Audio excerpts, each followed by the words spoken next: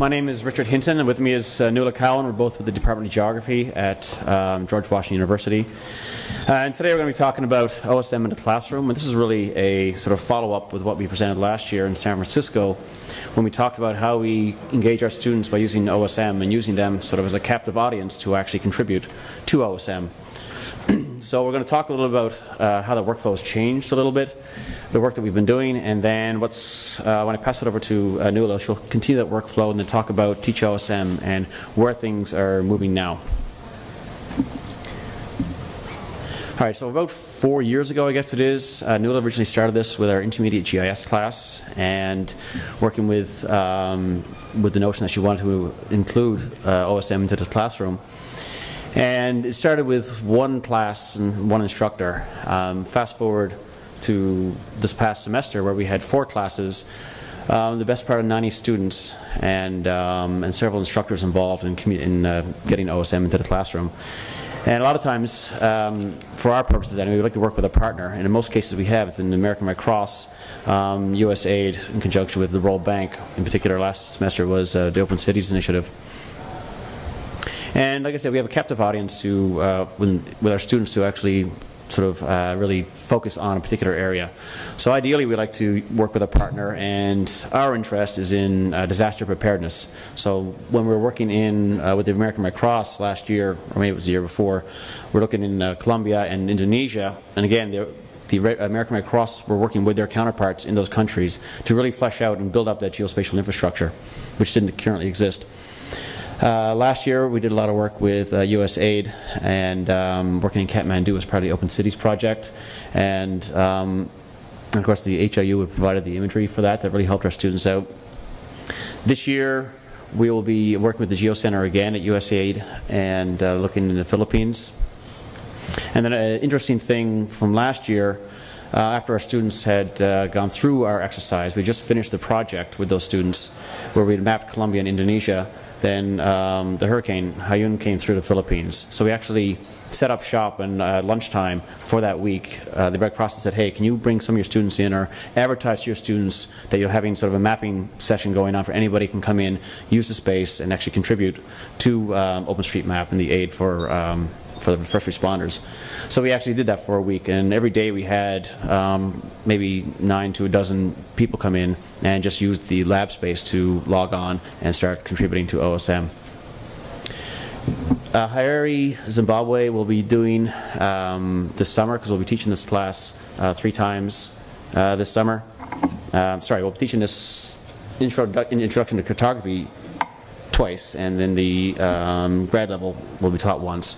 So right now, um, we're teaching it four, there'll be four classes involved this semester as well as the fall, and then in the summertime there'll be three classes uh, via online involving this, and we'll be doing the work in Zimbabwe. And this will include about upwards of 250 students throughout the whole year that will be doing, uh, introducing to OSM and having to contribute to this product. So it's, it's, it's good to have this sort of captive audience because it's, uh, it's a little different than, uh, than most things. So where are we going? As I mentioned, this is like the sort of fourth iteration of bringing this into the classroom. And we're, since the beginning, the workflow has sort of changed. Um, trying to find ways to streamline it. Technology has changed some. And so this year marks the first year when we're trying to actually sort of really uh, follow the same workflow that we had last year because it really worked last year. It was entirely open source. Previous years we had to use a couple of different pieces of software um, that we had to download, be it Quantum, ArcGIS, whatnot. But last year it was all online and it uh, worked fairly well. Um, the nice thing with the tools and the way the workflow um, is at this point, which we'll go through in the next few slides, is that enables us to not only include more students, but enables us since we're assigning it as a uh, as a homework, that it enables us to actually grade it and get a, the, the, information back to the students in a timely manner. So, with the change in the technology and the tools that can that we can use in our workflow, it enables us to really sort of grow um, grow it at our department. So how is OSM actually sort of different uh, when you bring it to the classroom? Because obviously most people, when they contribute to OSM, they log in at a, at a hackathon or a mapathon or at home and they start contributing at some, in some location that is of interest to them or something on the hot jobs that they've seen listed. But bringing it into the classroom, obviously, we need to um, make it equitable, all right, because every student needs to get a similar amount of work, and we need to be able to grade it and whatnot. So there are a lot of considerations here that we need to sort of think about when we actually want to bring it into the classroom and actually have students work on it. So as I was mentioning, we need to have it uh, an equitable volume of work for every student. Um, when we're, when we're looking at the area, one of the things we need to do is, or when we choose an area, we need to look at the area itself, what imagery is available, um, how much canopy cover, how clear are the images, how accessible is it to our students? Because in our situation, we're having um, a lot of first year students, or at least newbies to the idea of geomatics, or our introduction to cartography and GIS class. These guys have never really created maps before or looked at it, sort of geospatial information. So we need to make sure it's digestible for these guys and the tools are available for them to really contribute well. Um, so when we look at this information, we got to see, all right, make sure the imagery is, uh, is, is, is, well appointed so we can sort of identify what area is high density, which area is low density. Um, because if I give you five sort of grid cells uh, to work on, you're all high density versus these guys over here, which are all low density. It's not very equitable. So we need to actually look out, uh, look at, sorry, the area that, um, that we're going to be mapping.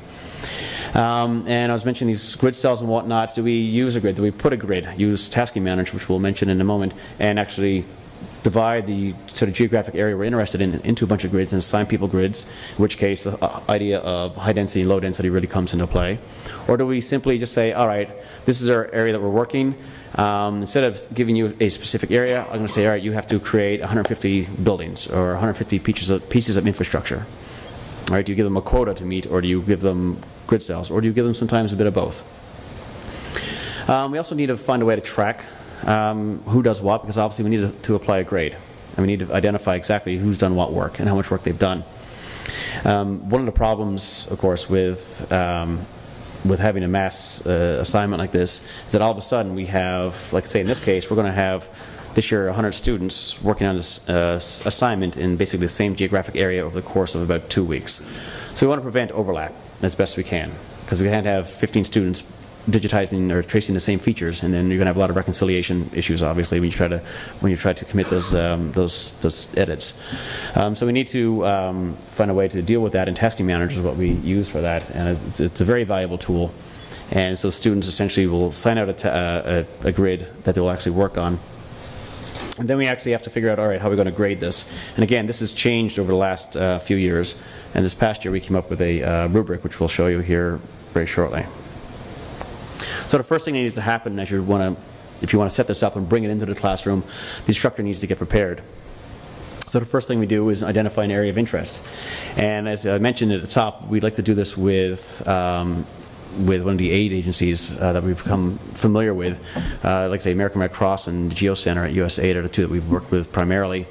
And it makes it that part of the job easy for us because for us we don't really care where we map, but we would like it to actually matter.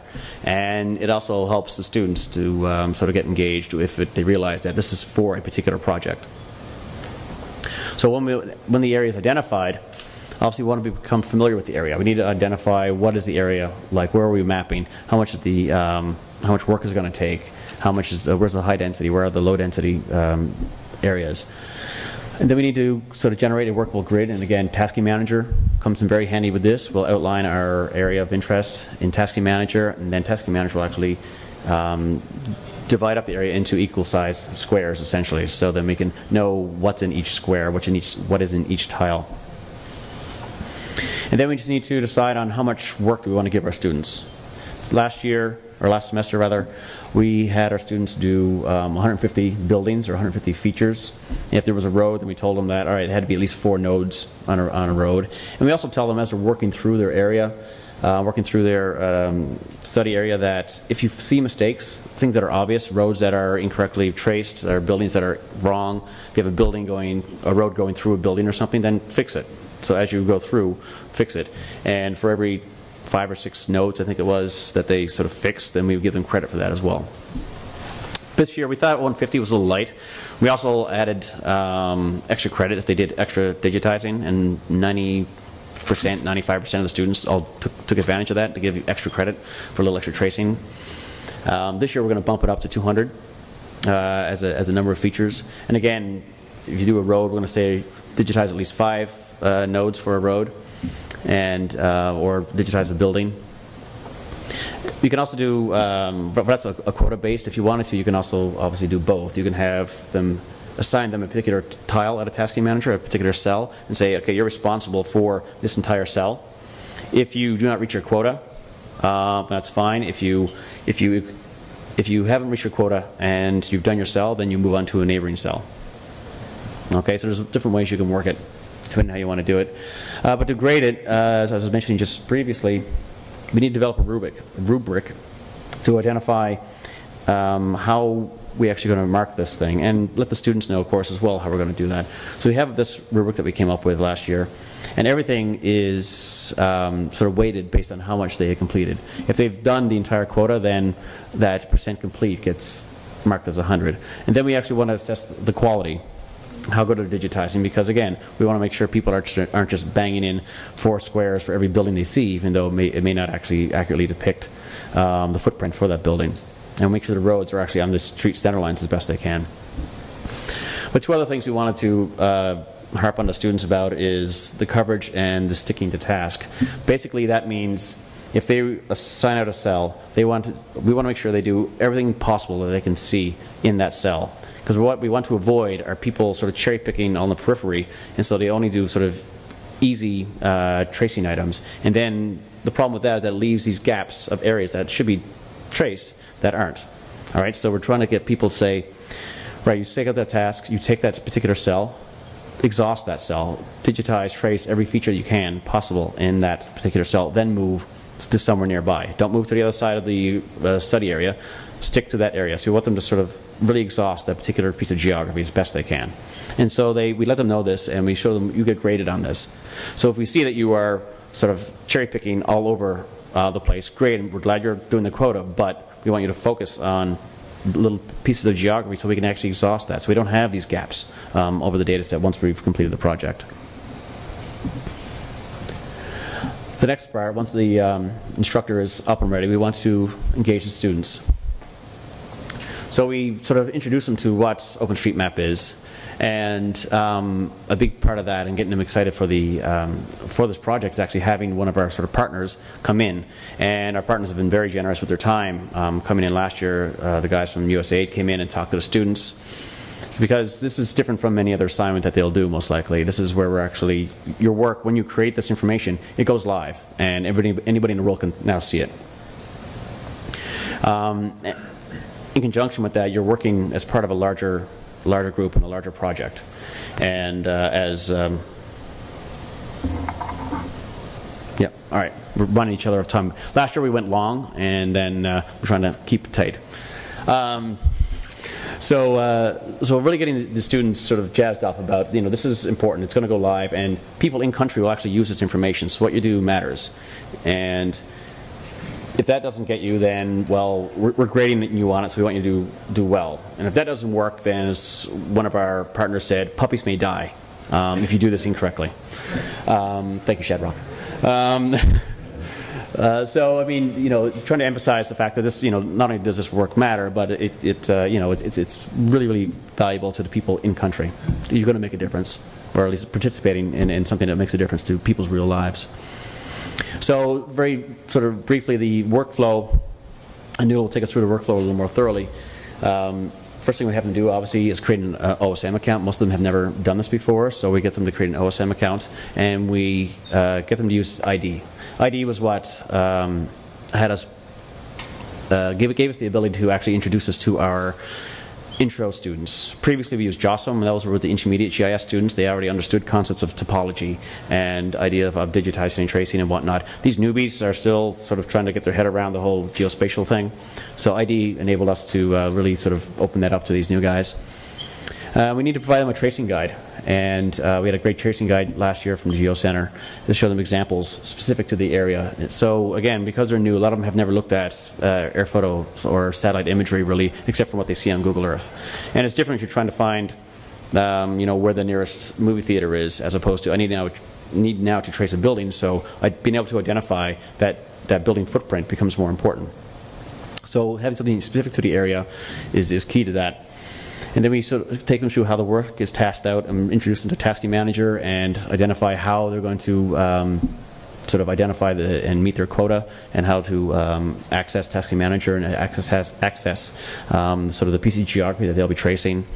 And then we also show them how we're going to keep track. And Overpass Turbo, if, if you're not familiar, is a, an open source um, application where you can uh, actually identify all the traces done in a particular piece of geography. It has an open OpenStreetMap. Um, I think we have a screenshot of it coming up. Um, OpenStreetMap layer there. And if you put in your tag, because we, we have the um, OSM handles for all of our students, we type in their name and everything that they've done pops up, or gets highlighted, I should say. So that's how we keep track of it, because it also keeps track of how many edits made, you've made, how many polygons you've made um, within, uh, within OSM.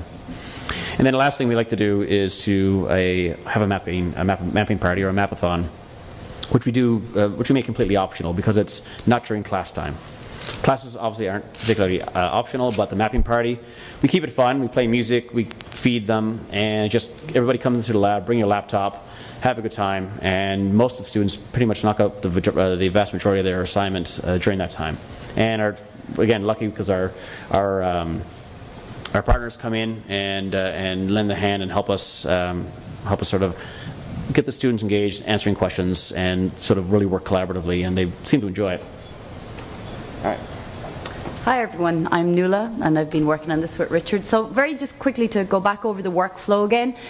We've tried this many different ways, four different times, four completely different iterations, working different softwares together, gridding things out, trying to make the grading for us easier. Last year we think we really figured it out and kind of the, the key to that was uh, these, these items, ID, this was kind of a deal breaker for us in being able to get intro students to do this type of work. Previously, we focused on intermediate level students, working with JOSM. We could trust them. We didn't have to baby them. We were like, okay, this would be awesome if it could be the type of instruction you could do in a class that wasn't for geographers. Okay, take it to another discipline, take it to high school. How can we make this module or this project be something you could bring into any classroom? And ID really, really helped with that. Um, it works, it's intuitive, it's got its own great help document, so we don't have to reinvent the wheel. And I don't like having to reinvent the wheel, especially when smarter people do it well the first time. So ID, we really, really like that. Um, working with partners that help us develop really good tracing guides, okay? Help, helping us orient the students to the landscape of the area they're working in. Every city or country we've worked in has been a little bit different. You're going to have issues with high, medium and low density areas. The guys at the Geo Center put together a great guide last year looking at the different um, you know, building densities within the city, issues with shadows and what's the protocol if you have buildings with shadows uh, working in areas that were super high density. So this was uh, made available to the students as part of their training. We have a training class, and then all these documents were made available to them online as well, so they could go back and read if they had any issues when they were working on this without their instructors. So this really, really helped. So that was another kind of big thing, and having the partner develop that with us really helped shifted a lot of the work off us. Now, I know a lot of people are familiar with the tasking manager. Uh, if you're not, it's, uh, you know, it's um, um, works alongside OSM, and administrators or those with administrator access can set up tasks to be worked on in a, a, collaborative environment.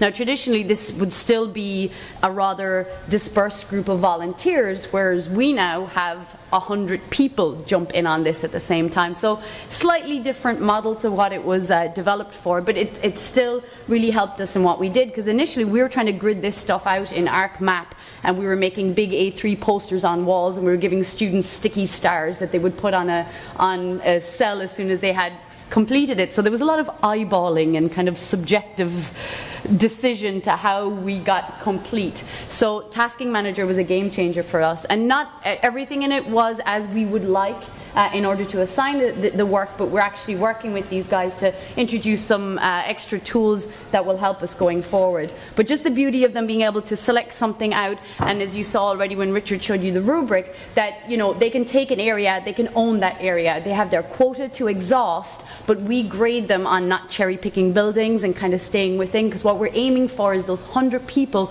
will give us coverage within a city or the part of the city that we're assigned, okay? So coverage is, is important as hitting those 100 or 200 buildings. So they're graded on that too.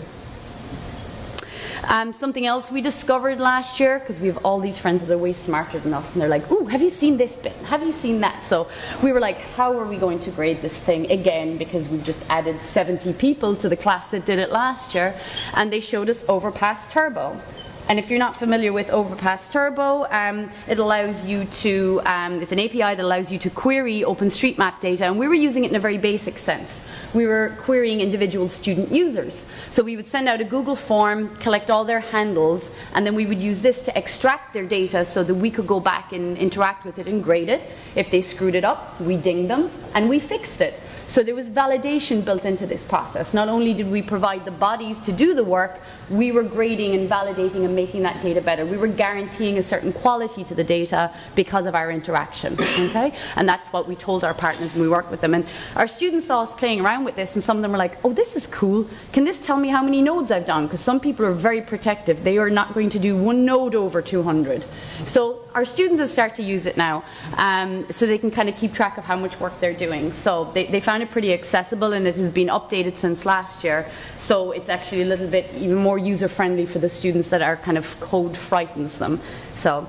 Um, so those were some of the, the big things. Something that we felt helped a lot were having these map mapping parties, which have become coined as mapathons in our department. First time we rolled this out, I offered it. No, actually, I didn't offer it. The students asked me could they have one because I made them read up on uh, OSM. They're like, oh, other people have mapping parties. Can we have one? And I'm like, you want me to come in on my Friday and map with you? And I'm like, all right, okay. If 20 of you will do it, I'll do it. So 20 of them did it. I bought them pizza, and it became really popular. Last year, we had over 100 people. We had four classes. We had faculty, faculty spouses, and then people started bringing their friends.